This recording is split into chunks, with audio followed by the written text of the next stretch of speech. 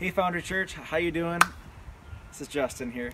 Um, you know, first off, I just want to say I really miss you guys. Uh, it's been really hard with quarantine, not gathering. It's just not the same without you guys um, in the auditorium with us singing. And um, so I'm looking forward to the day we can meet again. And uh, in the meantime, I just thought, hey, why not teach you guys some guitar? Uh, so we could uh, learn together and sing together.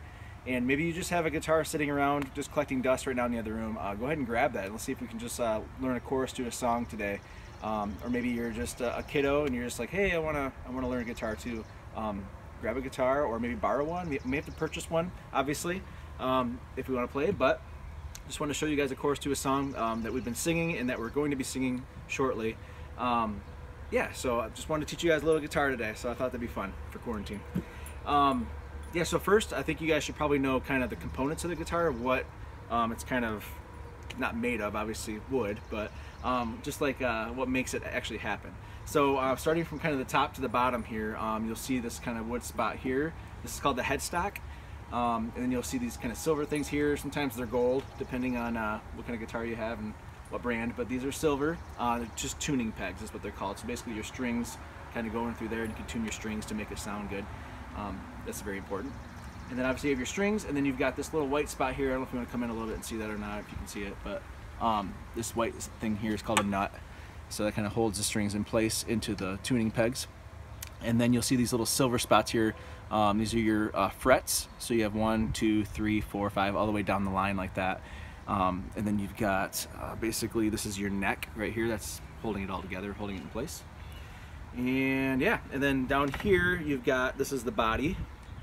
And then you've got, this is a cutaway guitar. So it has like the, kind of comes in here and in here. Um, it's called your, the waist, just like a person has a waist, right? So that's your waist. You've got a pick guard here, so when you're strumming, it kind of protects the body of the guitar as you're doing, as you're playing. Uh, this part here, kind of rectangular, uh, is called the bridge. You've got your um, bridge pins here that kind of, the strings go inside there and hold it in place so when you're strumming it doesn't pop out. Sometimes it does and it's a big bummer.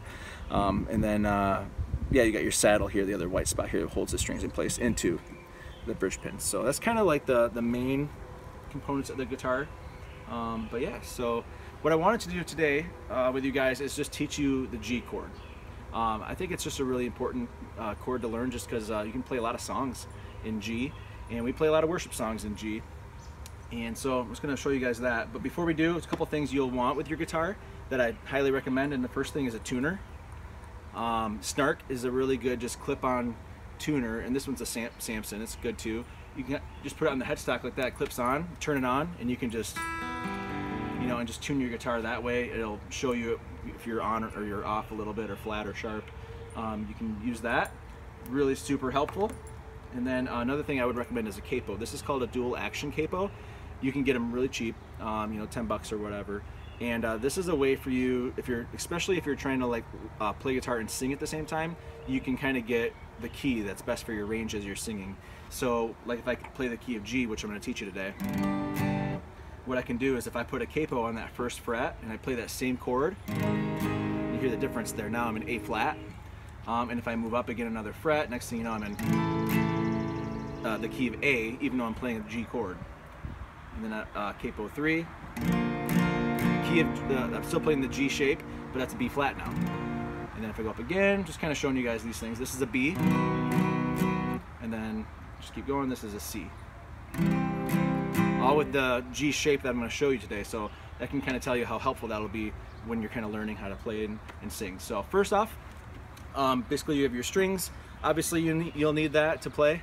Um, so I recommend Elixirs. I really like Elixir brand uh, for strings on acoustics especially. Little pricey, but super uh, well worth the price. Um, and what they're gonna, what you're gonna do is you'll see, um, especially if you're watching other tutorials, uh, you'll see they count one, two, three, four, five, six, from um, down to up. So it's not one, two, three, like looking down, it's, it's down then up. So this is your first string, your high E string right there. And then you just work your way down. There's two, three, four, five, and then six is your low, low E string. So what we're gonna do um, is like we talked about these frets here, you're gonna start with your pinky. And what I want you guys to do, um, you can pause this video if you need to get some stuff or whatever. Um, but I want you to put your pinky on the third fret and I want it to be on the first string. So here I am. So remember, this is your first string. Now I'm putting my pinky on that third fret. Okay, that's the third fret on the first string. And I want you to take your ring finger, and I want you to put that on your third fret on the second string. Okay? And what's really cool about the G uh, chord is three and four are open. So what's cool is you already have your two going. So what you're gonna do, and um, I know some of you have small hands, it's kind of hard to do, but you're gonna wanna reach over your middle finger while you have these two down, reach over, and you go to the third fret again, okay, but now you're on the first string. Remember that's your low E string. So you're gonna go push that down.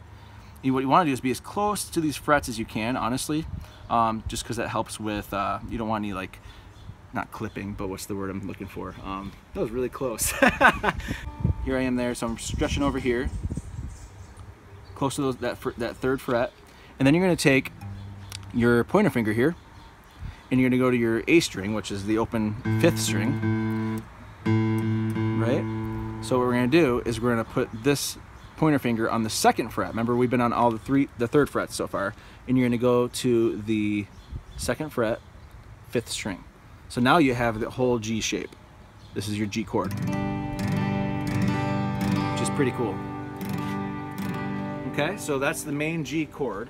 And what I'm going to show you guys, um, so we can sing a little bit of the chorus of More Like Jesus today, just to teach you that a little bit of that chorus.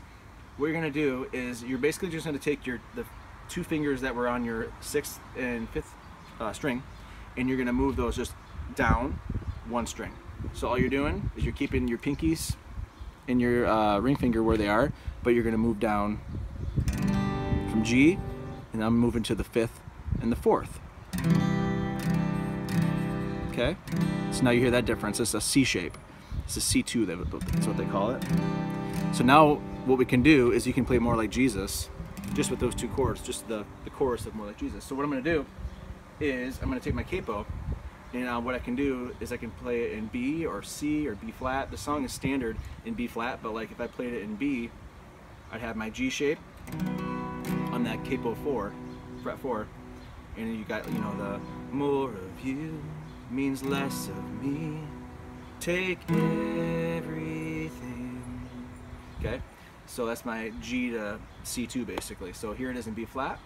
So go ahead, if you have a capo, if you don't, that's okay, just play it in G um, and just kind of practice it that way. But you got just your more of you means less of me. Take everything. One thing I really uh, like to do, especially for this song, is doing just downstrokes. Um, you, have probably seen a lot of guitarists just kind of, that kind of stuff, and that's okay. But for this song uh, in particular, you want to just kind of be doing downstrokes and really practicing your rhythm. It just takes time. It takes a lot of time to learn how to do this um, and get good at it, but just kind of. So down, down, down. You can just see my hands just hitting the strings on the way down, not up. If more of you means less of me, take everything.